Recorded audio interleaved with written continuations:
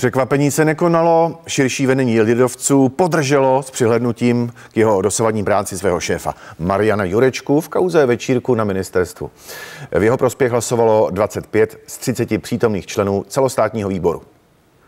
Jsem na jednání celostátního výboru nabídl eh, jak funkci předsedy KDU ČSL, tak člena vlády a ministra práce sociální věcí k dispozici celostátního výboru a e, zároveň e, tady na tomto místě znovu jasně říkám, že se omlouvám za to, že jsem 21.12. E, špatně vyhodnotil ta rozhodnutí. Zároveň také jsem udělal v chybě v komunikaci vůči médiím vůči veřejnosti. Celostátní výbor KDU ČSL bere na vědomí přiznání chyb a omluvu předsedy strany. S respektem k dosavadní práci Mariana Jurečky nenavrhuje přistoupit k personální změně ve vládě ani ve vedení strany. Tento čtvrtý bod byl hlasován tajně a z 30 přítomných tento bod podpořilo 25 členů. A právě kauza Mariana Jurečky i situace uvnitř KDU ČSL teď bude tématem pro naše hosty. Šéf redaktora webu Echo24 Dalibora Balšínka a komentátora Mladé fronty dnes Petra Koláře. Dobrý den vám oběma, jsem rád, že jste si udělali čas. Dobrý den vám i divákům, díky za pozvání. Ahoj Dalibore. Dobrý den, ahoj Petře. Jak jsem říkal v úvodu, překvapení se nekonalo a Mariana Jurečku podpořilo 25 ze 30 členů širšího vedení, čili jednoznačná podpora. Zajímá mě, pánové, váš názor. Posílilo to, co jsme tu sledovali, nebo včera večer, pozici Mariana Jurečky uvnitř KDU ČSL? Dalibor Balšínek může začít.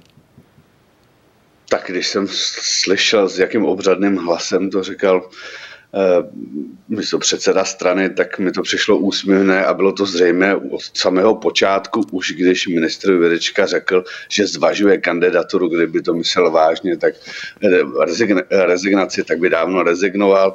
Na tom případě samozřejmě nejhorší to, to lhaní. Jo. Eh, samozřejmě je jedno provinění, že ignoroval, co se na filozofické fakultě dělalo, ale to následné lahaní, to bylo nesmírně ponižující divadlo, ve kterém smutným hrdinou byl právě ministr Jurečka. Nicméně bylo jasné, že jeho rezignace nebo oslabení jeho pozice uvnitř strany by přinesla eh, eh, velkou nestabilitu už do tak znejštěné eh, vládní koalice, takže bylo jasné, že oni že budou držet při sobě a že neudělají nic, co by je ohrozilo.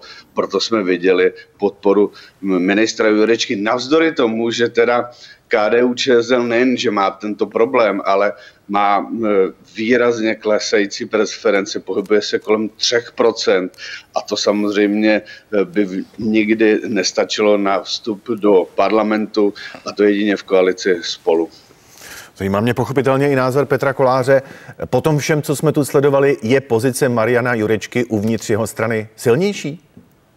Myslím, že pozice Mariana Jurečky uvnitř jeho strany je setrvalá, stabilní a vlastně eh, jako možná někteří si říknou, hele, on to ten Marian takhle říkat nemusel, ale jako to je tak všechno, eh, ale tady přece vůbec nejde o jeho pozici uvnitř KDU ČSL, ta je, ta je úplně irrelevantní, jako KDU ČSL se dneska pohybuje okolo 2-3% a je fakt, že tohle to eh, jim rozhodně nepomůže. Naopak, eh, já souhlasím s tím, že vlastně není až tak, eh, nebo takhle, ten, ten večírek prostě, tak, tak to se seběhlo souhra, souhra okolností. Jo. To a asi těžko mohl ministr, který za to utratil 450 tisíc, respektive jeho rezort, těm 400 lidem, který si pozval, tak jako říct, pánové, střílo se, běžte okamžitě domů.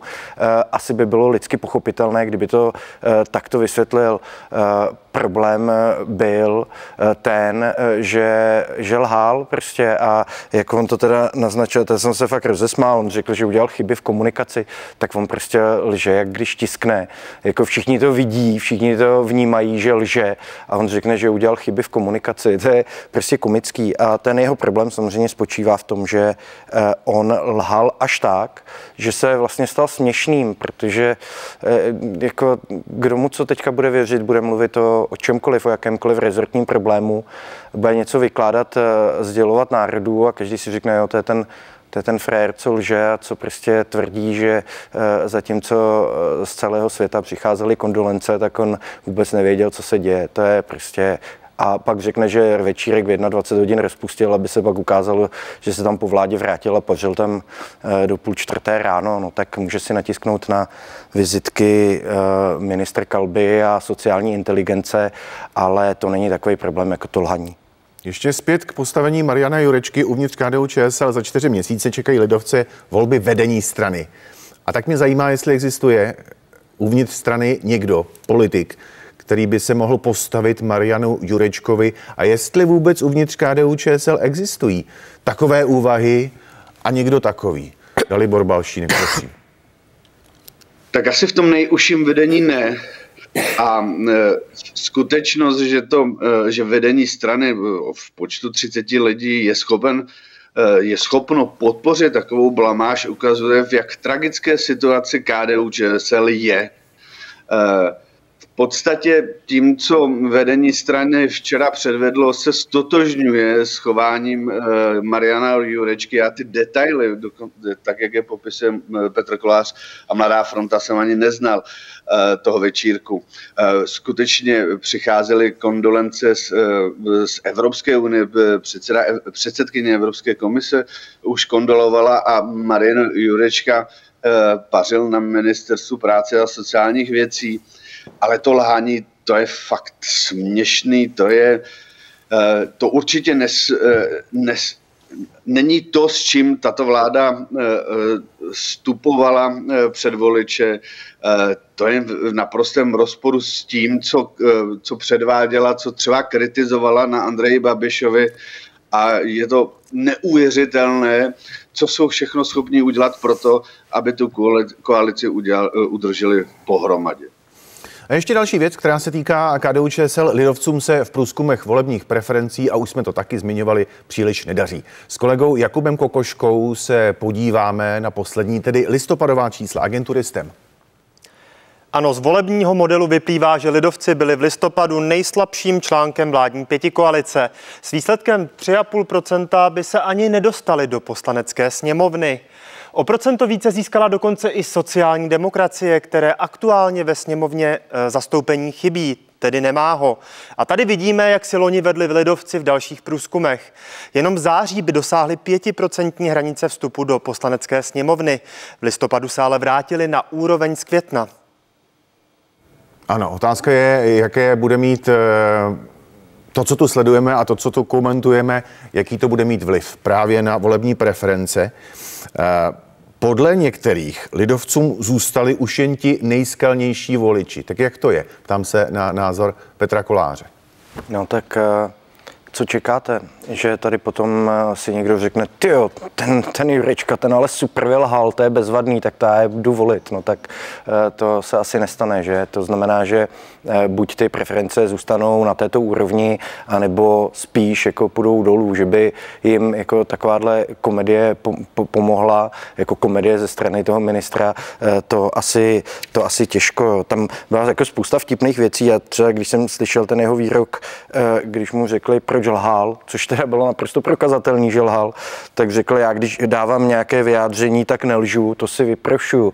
Tak eh, v tom případě jako, když dává vyjádření, tak to není lež, to je přece celý samo o sobě strašně jako legrační a on přesně přesáhl tu hranici, když se stal jako směšným. Eh, KDU ČSL eh, má své preference, jestli jako se ta strana může zmátořit, eh, těžko říct, protože vemte si, že kromě tady toho lhaní, o nich v poslední době eh, bylo slyšet eh, maximálně s tím, že si vyjednali výjimku na tiché víno, a to kritizují i sami ty koaliční mm, politici. Jinak vlastně jako, jasně, Marian Jurečka neustále vykládá, že dělá zásadní důchodovou reformu, ale to je jak z toho filmu a mohla bych ji vidět. podobná, nebo pro Dalibora Balšínka tu otázku obměním. Může mít aféra s večírkem a bude mít vliv na volební preference KDU ČSL? Může mít, v tom smyslu, že KDU ČSL už nebude skoro měřitelná. Eh, že spadne tak dolů, že už bude na hranici statistické chyby. Eh, je zřejmé, že v případě KDU ČSL eh, dochází podobně jako třeba u komunistů k vymírání voličů a KDU ČSL se současným vedením není schopna získat nové voliče. Pokud by ta strana měla chtít existovat sama a neschovávat se pod koalici spolu, Eh, tak musí samozřejmě projít eh, proměnou, musí se tam objevit nějaká výraznější, silnější tvář, ale v tom stavu, ve kterém KDU ČSL je, není schopná oslovit více voličů, než ukazují ty průzkumy, určitě nenajde odvahu kandidovat sama a e, spoléhá, alibisticky spoléhá na to, že se schová v, koalici, v koalici spolu. Hmm, jenom pro můj nebo náš tedy přehled, kdo je dnes voličem podle vás, pánové, voličem KDU ČSL? Jakou skupinu uh, lidí lidovci teď oslovují? Dalibor Balšínek může pokračovat. Je to nepochybně určitě ten hardcore. Oni přišli na samou mez toho uh, svého volického jádra a to se pravděpodobně nejvíc opírá o voliče na Jižní Moravě, na Zlínsku, v těch, v těch tradičních baštách. Ale to, ty čísla, které, které udávají všechny agentury, není to jenom jedna agentura pro výzkum veřejného mínění, tak eh, ty jsou, fakt, ty jsou skutečně varující. Ta strana je na hranici klinické smrti a tady ta trapnost a tady ta ostuda, kterou předvedl ministr Jurečka, to je další, další rána eh, do umírajícího těla. Na hranici klinické smrti, to si eh, jistě budeme pamatovat. Pro Petra Koláře už mám otázku jinou. Nehřeší vedení KDU ČSL tak trochu na to, že je v koalici s ODS a TOP 09 nakonec nějaké poslance prostě mít budou, abych to zjednodušil? Já myslím, že nehřeší, tak eh, jako jim nic jiného nezbývá a uh, mám takový pocit, že to je velký sen uh, premiéra politologa Petra Fialy jako udělat eh, obdobu německé KDU, CDU, německé koalice a, uh, a že jako dostat dohromady ODS a KDU ČSL uh, jednu v jistém jako smyslu jakože do budoucí koalice a e, jako do spojení těch stran a to si myslím, že jako se klidně může stát, protože jestli budou lidovci tímhle e, tempem pokračovat, tak to může přijít velmi brzy. Jim už vlastně nic jiného nezbyde, než se držet v té koalici spolu, stejně jako je na tom TOP 09, takže pokud já nevím, třeba se dočkáme nějakého slučovacího sjezdu těchto tří stran nebo minimálně těchto dvou stran. Pojďme si teď poslechnout ještě jeden, myslím, silný hlas v celé této věci. Lidovci potřebují změnu, tak komentoval situaci ve straně, tedy uvnitř KDU ČSL, bývalý předseda KDU ČSL Cyril Svoboda. Je tady dlouhodobý trend a ten trend jasně říká, že KDU ČSL je dlouhodobě pod 5%. A možná, že tenhle ten příběh ukazuje, že veřejnost eh, vidí nějak lidovou stranu a vidí i v této situaci a je potřeba si vystoupit z bubliny a něco udělat. A podle mě jsou dvě varianty. Varianta první je, že se KDU čas rozhodne stát se definitivně součástí ODS, to znamená, že vznikne nějaká pevná trvalá frakce v ODS nebo že vznikne něco jako spojení dvou stran, a nebo osamostatnění, eh, což je také cesta, ale eh, nejhorší je eh, to, co se vidíme dnes, že totiž se představa, že se věci vyvinou sami od sebe. To se nestane.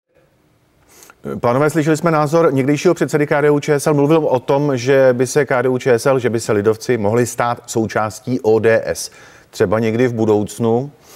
A Petr Kolář se hlásil už před chvílí o slovo, tak prosím.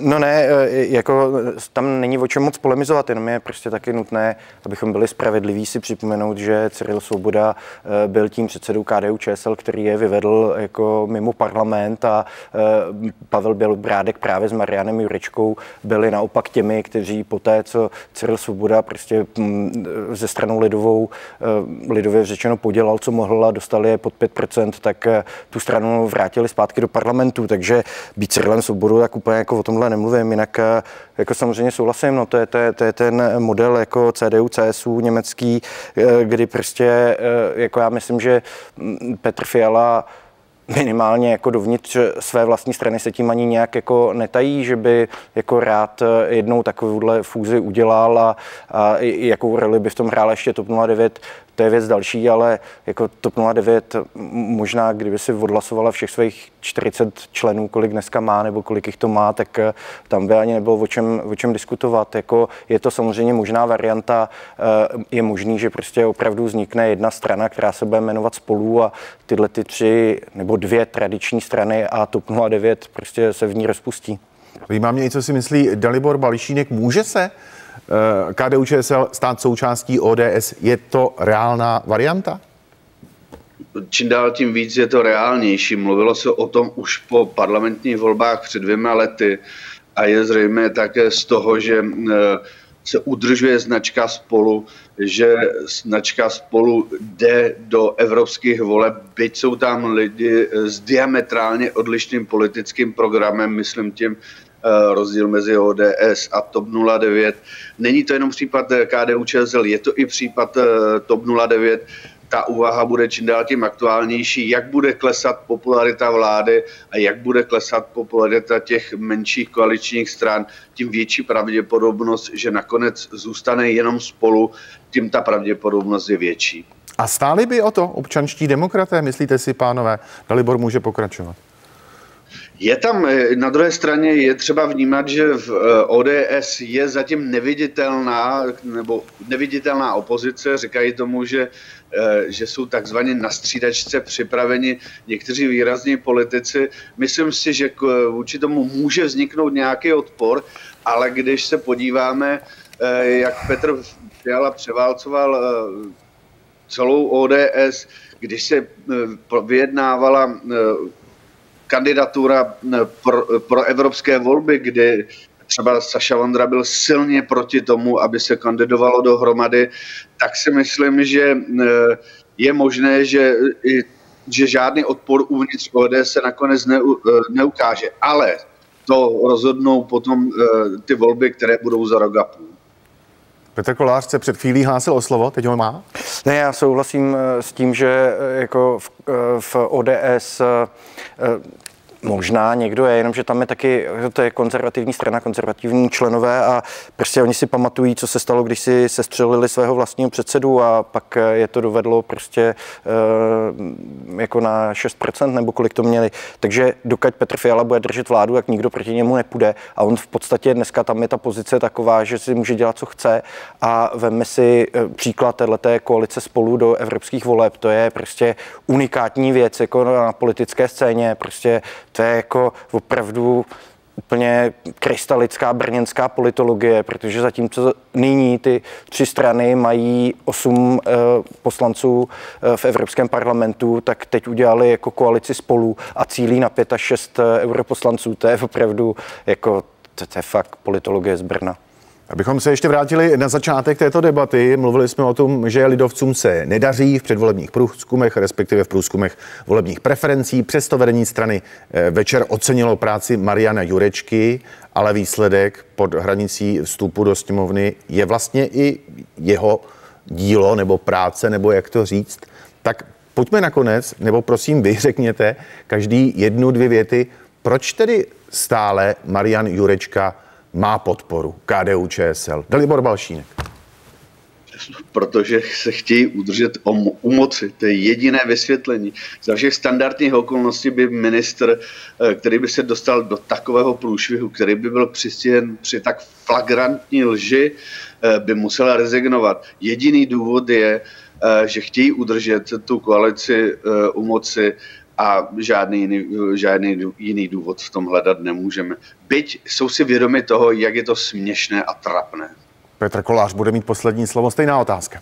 No, já jsem nedávno do jednoho textu napsal, a to se netýkalo jenom Mariana Jurečky, ale vlastně všech ministrů a všech klíčových postav eh, této pěti koalice, že ta pěti koalice je natolik provázaná a natolik jí drží ta eh, touha vládnout, že aby někdo z nich rezignoval nebo skončil, tak by musel asi pravděpodobně zavraždit vlastní babičku. A eh, to se zatím nestalo. Ministr Jurečka jenom lhal a vypadal jak kašpar. Komentátoři Dalibor Balšínek a Petr Kolář teď byli hosty našeho vysílání, za což pánové velmi děkuji, mějte se hezky. Děkuji za pozvání, hezký den. Shledanou.